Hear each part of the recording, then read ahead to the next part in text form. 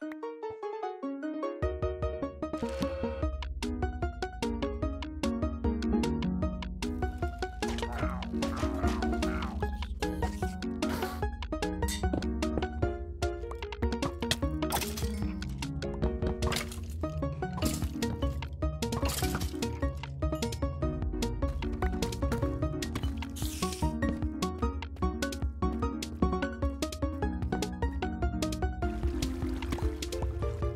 you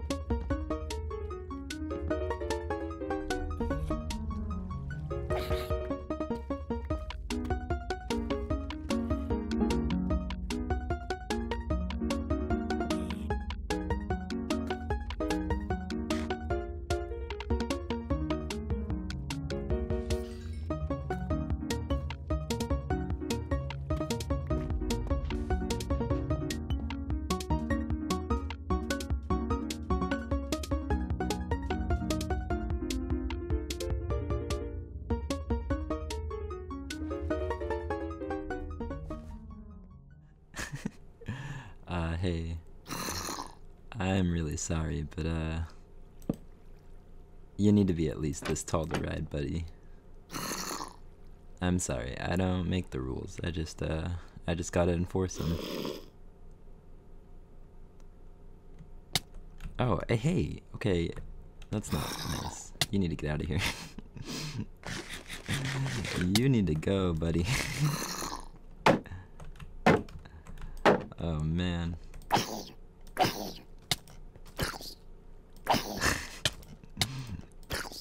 Uh, that was a durable child. Hey, it's me. uh, so that was fun.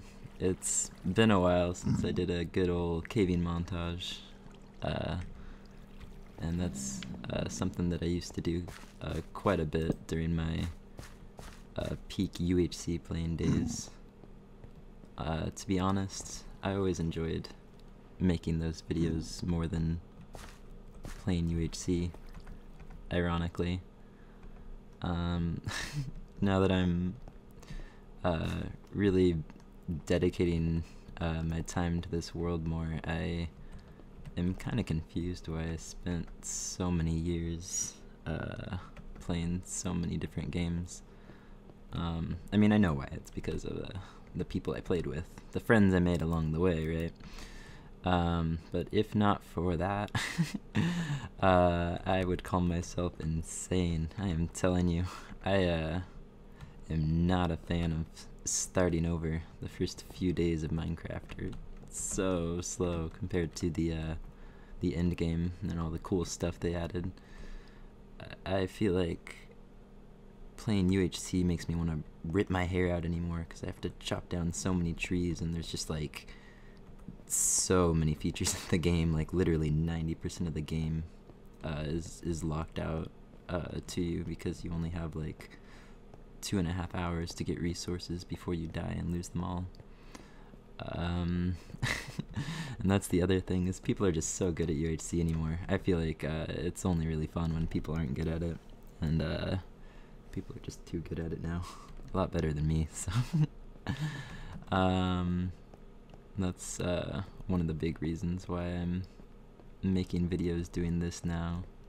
So maybe every once in a while I'll uh, throw in a, a cool caving montage or building montage or something. I've been working on the railroad all the ding dong day, and um, I'm tired, but it's pretty close to at least somewhat functional. Uh, like I said, I still plan to dig this out uh, quite a ways and extend the line, but I think I'm just going to take it to about here uh, to test the system, uh, mainly because I'm running out of rail tracks. That's one of the reasons that I needed to go mining today. Um, so I'm just gonna uh, finish this line and the pattern that I have it, and then power up all these rails, um, and then I'll be able to uh, place down the layer of mud. So I'll probably come back for an update once that's done.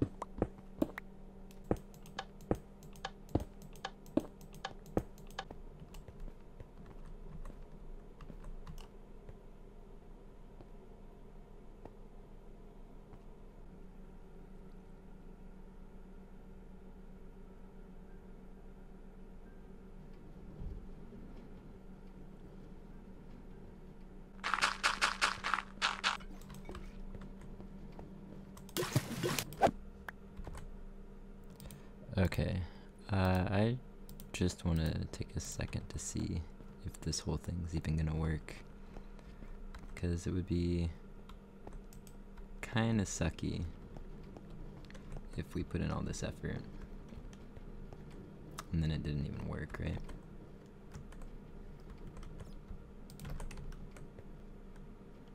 Hmm, how am I gonna get up here? uh,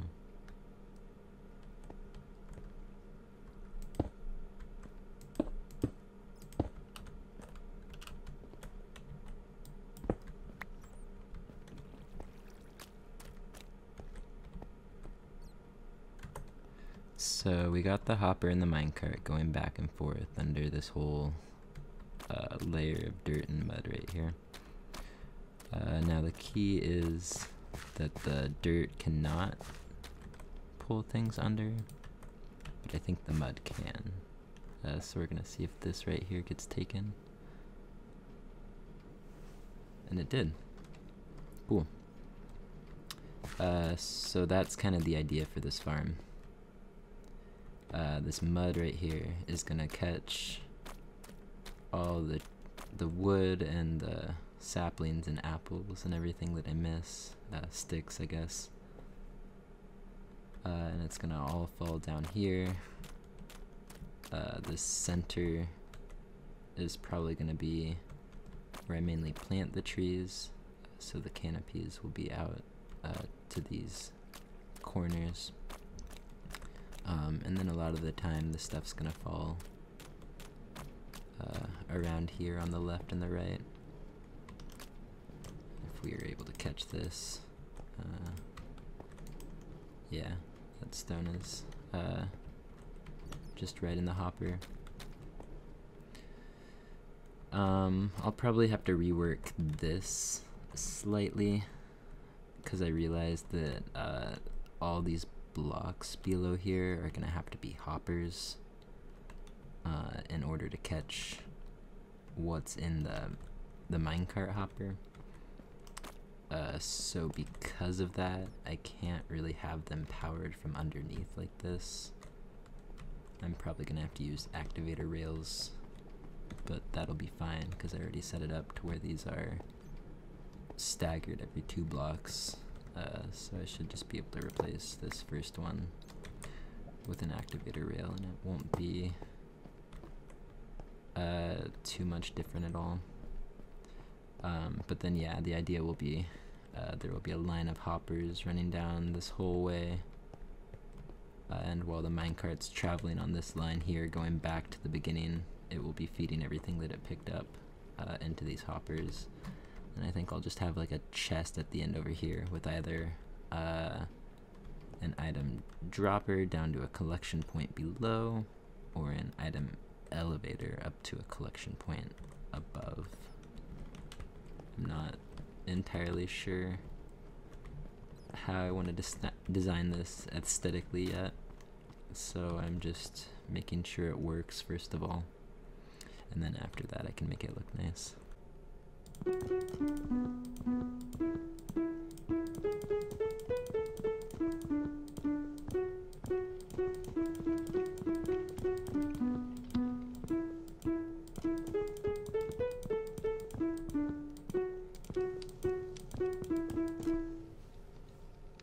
This world has so many Endermen, it's getting kinda ridiculous.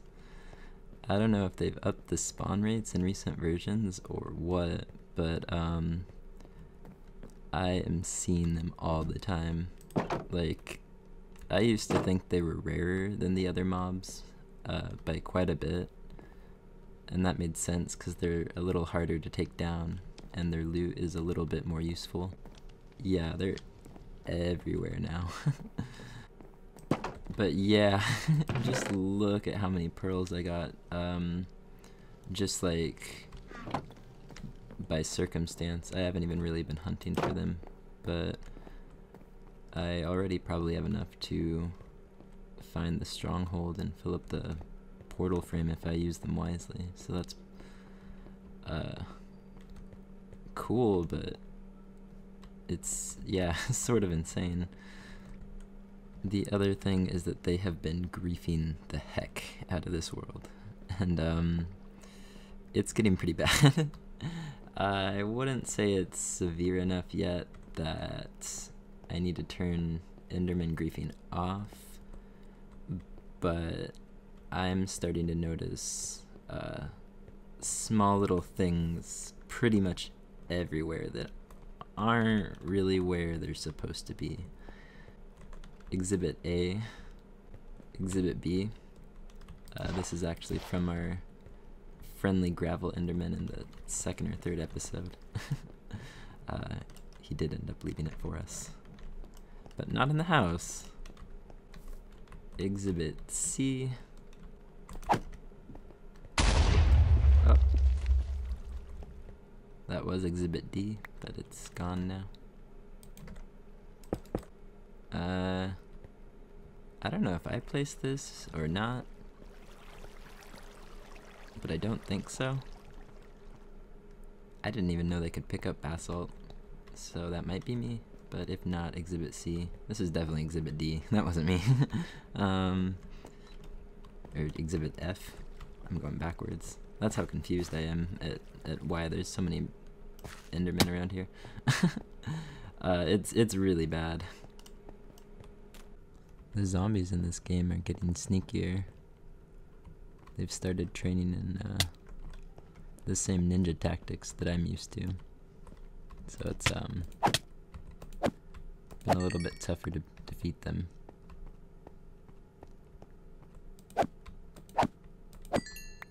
It's not too tough, but it's been getting tougher. See, what is this? this is getting to be way too much.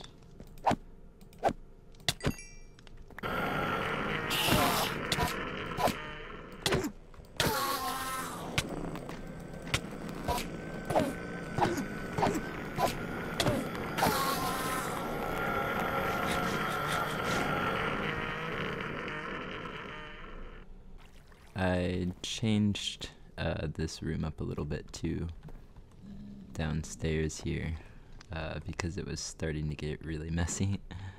Um, there's still uh, quite a bit of junk in all the barrels, but I've been slowly moving it out of the house, starting from upstairs, and uh, I still have some work to do down here. Um, I captured Zisto, uh, for some reason.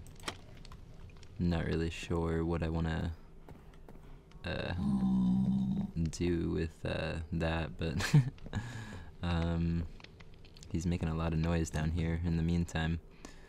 I also switched out all the furnaces I had over in this corner for a pretty basic auto smelting system. You just put in stuff you want to cook up here, fuel down here, uh, and yeah, can collect it down here. Nothing too crazy. These are most of the resources I've collected so far. Uh, I had a lot more iron, but I just used a lot of it for the rail track project downstairs. But, um, I'm starting to get pretty rich. I haven't really felt the need to go uh, caving too much, um, which is pretty nice. I can spend a lot of the time building and making farms, which is what I like to do uh, in this game mostly anyway.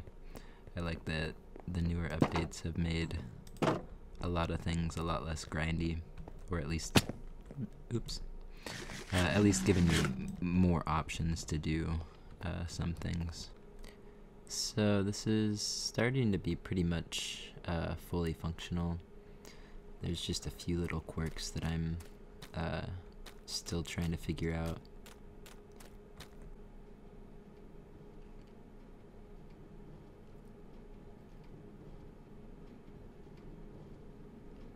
Yeah, there you can see it picked pretty much everything up.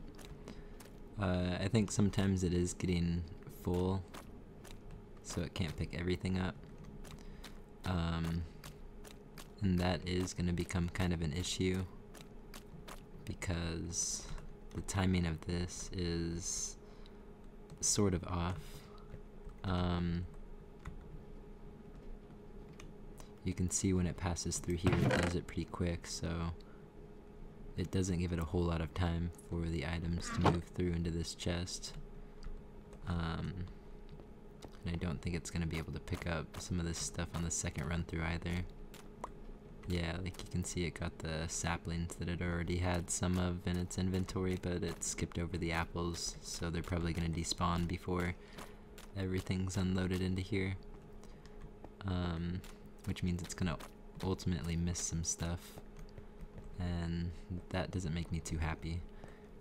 So, um, I could either extend this hopper line all the way through here and that would probably give it enough time to feed everything through in a single run. But that would take a whole lot of iron um, which is an option but I definitely don't have enough to do that right now. And it would take a lot of time to get that much. And uh, I could probably use these hoppers better in other projects anyway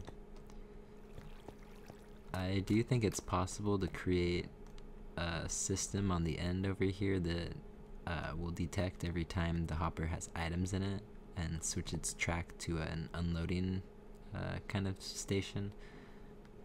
And then when it's empty, uh, it can send it back through. Um, which seems a little bit of a smarter setup. And I'd like to try to figure out how to do that.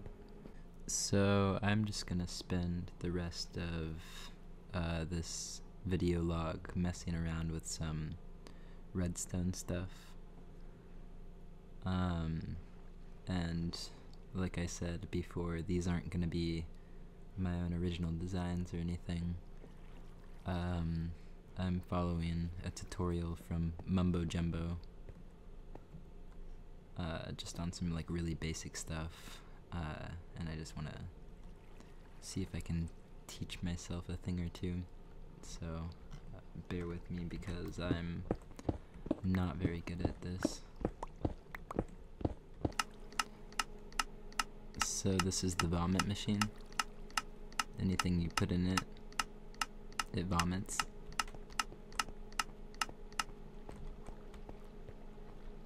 Um, which is actually pretty useful.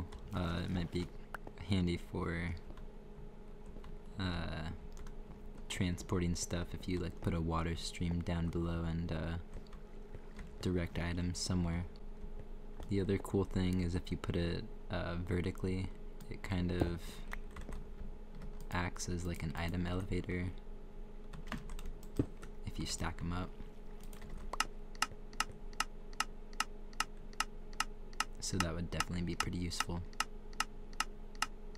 I'm thinking this is most likely going to be the solution for our problem down in the wood farm, uh, where the hopper minecart doesn't really have enough time to feed into the hopper below while it's passing through.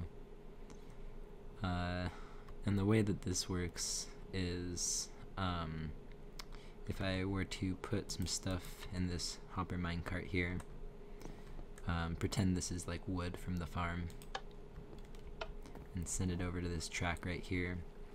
Uh, what happens is when this passes over the hopper and starts feeding anything into here, it tells this comparator to uh, power this torch and invert it, which powers this line, and depowers uh, this rail track, uh, which will freeze the hopper in place. Uh, and that happens long enough, um, I guess as long as um, things are feeding through the hopper, it's going to keep powering this and inverting the line so that it's not powered. Then as soon as everything's unloaded, uh, this track gets powered once again. Um, and all the items end up in this chest down below. That way it's only hanging around exactly as long as it needs to to drain everything out, and it's not really wasting any time um, passing through over and over and over again without feeding all its items through. So this would be sort of the sister machine to the last example. Um, since the last system was meant to unload items from the minecart to the chests, uh, this one's more of a chest to minecart type unloader. Uh, and that's another one that's going to be handy if I want to uh, transport items a long distance. Like, let's say I move to another base down the line. Um, I could extend this rail track somewhere else and uh, send like five stacks of items at a time to uh, wherever I want them to go. Um, and the way this one works is um, the comparator is going to be looking for a full signal strength of 15 to come out of this minecart here. Um, and this comparator here um, is getting that signal strength of 15 from right here, so that's what tells it to look for that. Um, if I were to send this one off, you can see I have about five stacks of items draining here and as soon as it's empty this piston should retract and send it off on its way.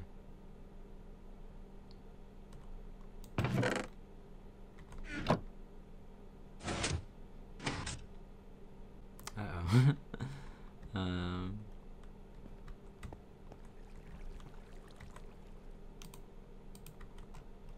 I think I probably should have powered that. But you get the idea. If you want the system to be sent off when it has less than 5 stacks of items, then you can switch out this uh, constant power of 15 uh, with a hopper um, and put an amount of items in it that is uh, roughly what you want it to be. Um, so if I put in two stacks of items, it's not going to accept two stacks exactly, but it's going to accept around that before it gets sent off.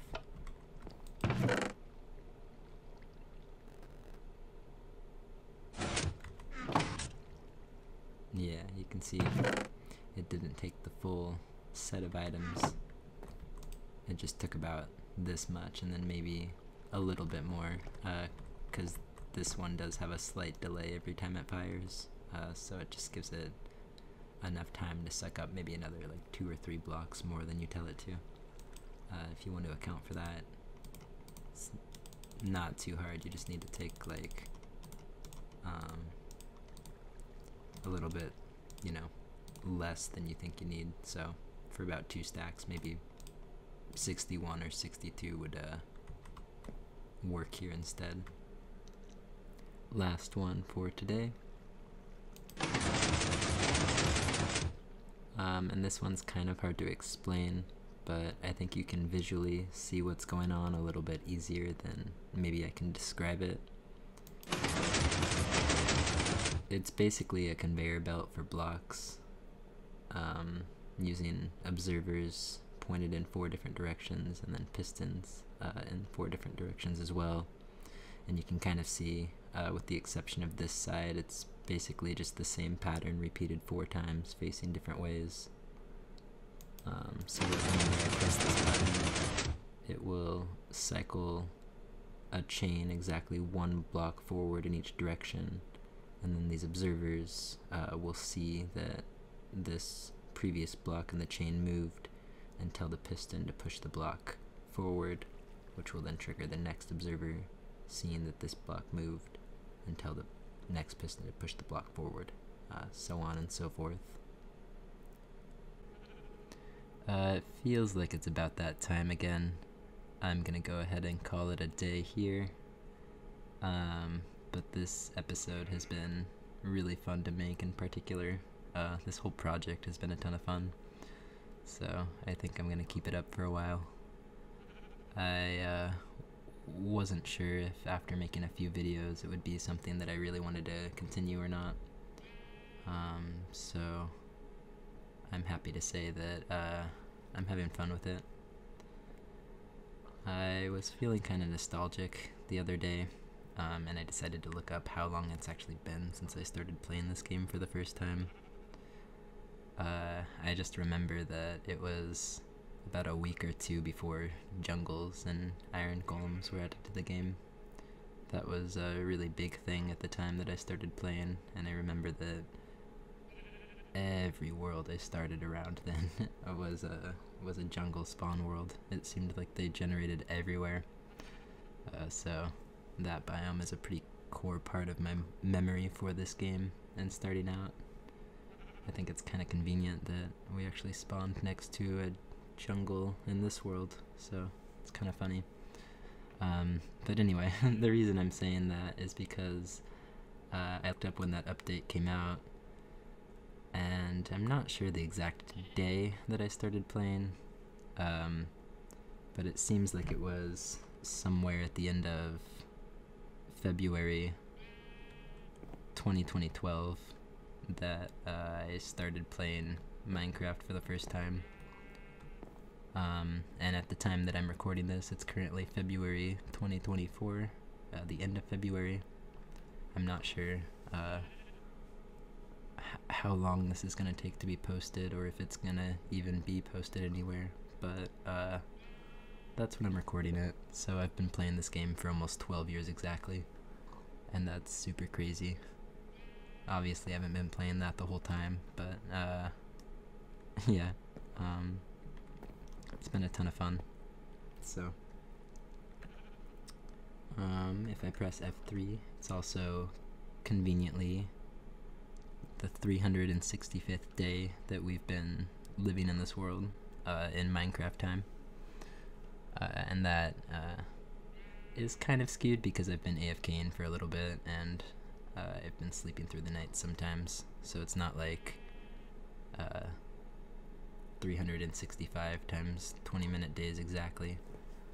But I still think it counts as my Minecraft player's birthday. Uh, so we are in the birthday room with Pork Chop and uh, this guy. and we're just celebrating the 12 year anniversary of, of me playing Minecraft and the one year anniversary of uh, Ninja. And this world. um, I have an idea for what I want to do for a bigger mega base now after I'm done with the starter home too. And I've been uh, putting little hints at what I'm gonna do in the episode titles. I uh, think it'll be pretty obvious by around episode 8 or 9 what the plan is, but if you look really closely, you can actually figure it out right now, probably. I think there's enough information out there, enough breadcrumbs to figure it out. So, on that note, I'm gonna make a cake and eat it with my best friends. And this is gonna be the first cake that we've made in the world.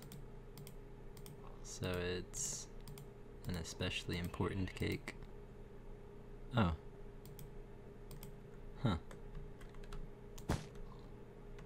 That's weird. I, uh, guess we're having birthday pizza, guys.